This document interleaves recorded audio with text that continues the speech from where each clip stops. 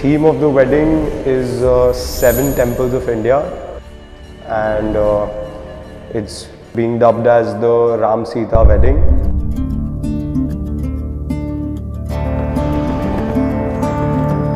It's very spiritual and very religious at the same time, but very pious.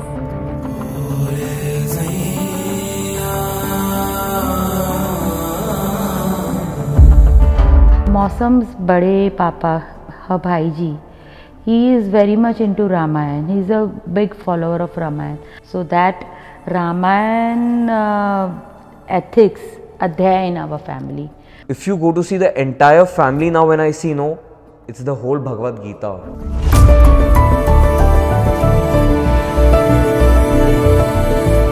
I'm a very religious person, so I always have this belief that there is somebody, you know, who's always looking over us.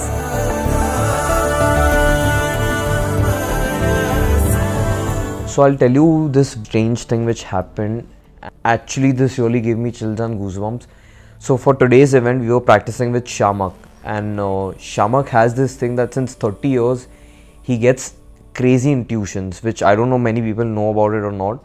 So when I met Shamak, he said me that I don't know since morning something is bothering me. There is a guy which I can see on stage, you know, this man is lost since 18 years and he's waiting for his sons to get married. So Mo said that, do you know Karan has lost his father 18 years ago? And I was completely really shocked. So the real positive energy is there and I'm 110% sure it's coming from my father.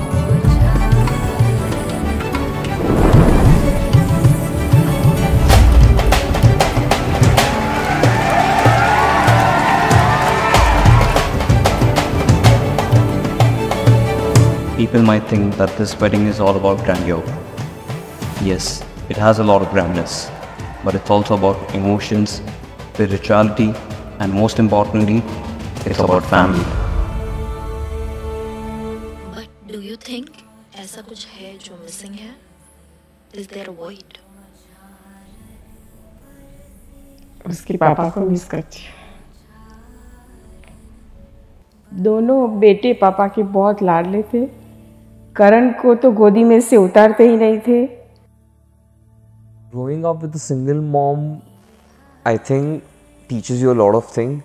In the daytime, she is a warrior, a fortress warrior when you know she's looking out for me against the whole world. And in the night when I return home back, she's there with her pillow in her laps, ready for me to tuck in my head in her laps, and you know, that support which I have.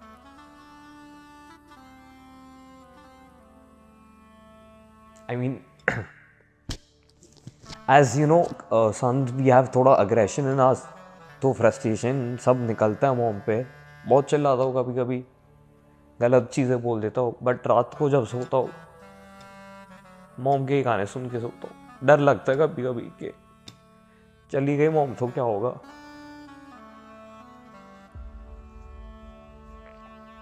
But मौसम आ गए तो शक्ति भी उतनी मिल रही है सामने।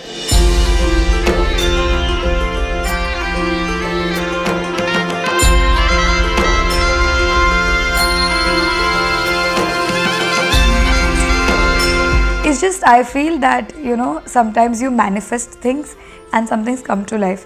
So we met six years ago. That day I told her my dream is just to marry you. यही मेरा सपना है बस मेरा और कुछ सपना नहीं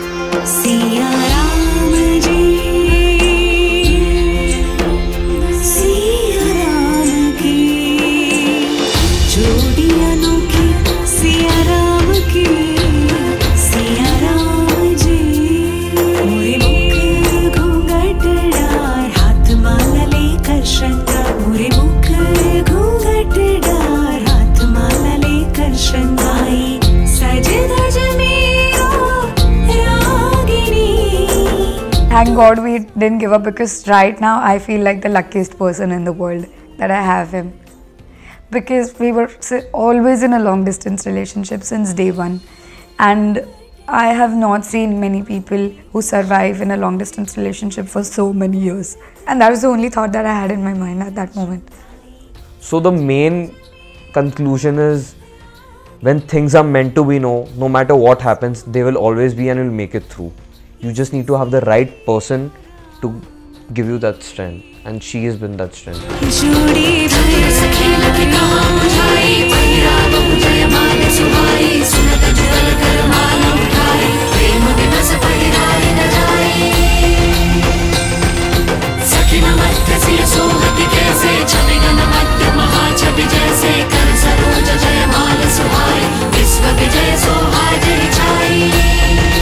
and now when I see the Ram Sita को whole thing it's within the family and it run in the family today also if you go to see Baiji the village he comes from the entire village was the yester in the the entire village he sir these are the why I am today these are my roots if अगर ये जड़ें नहीं होती तो ये झाड़ नहीं होता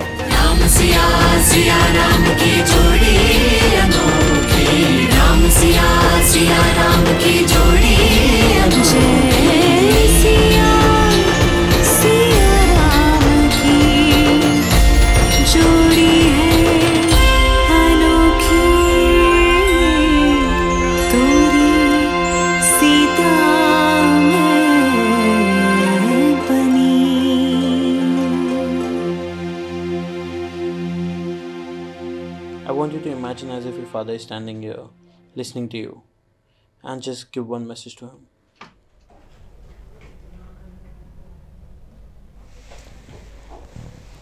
Dad મને ખબર છો તમે છો અહીંયા જ કશે તમે ભલે આજે સાથે નથી પણ તમે વીસ વર્ષ સુધી તક ઉપરથી અમને જોયો અમને આટલો સપોર્ટ કર્યો એટલે આજે કદાચ અમે અહીંયા સુધી તક પહોંચી શક્યા મારે ખાલી એટલું કહેવું છે ડેડ તમારી યાદ બહુ આવે બહુ આવે પણ મમ્મીને નીરવ મારા માટે બહુ કર્યું છે તો તમે પ્લીઝ ચિંતા બિલકુલ નહીં કરતા ને ક્યારેય લાઈફમાં વિચારું છું ને હોપ કરું છું કે ક્યારે એક દિવસ એવો થાય કે એક દિવસ માટે તમે ખાલી આપી જાઓ તો સારું રહેશે પપ્પા પ્લીઝ